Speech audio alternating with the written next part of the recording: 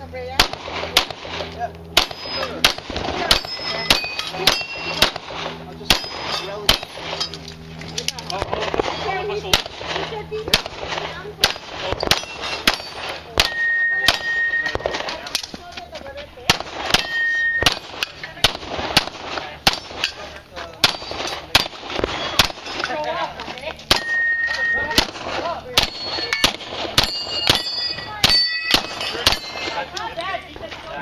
Probably have a super light. My trigger's pretty light.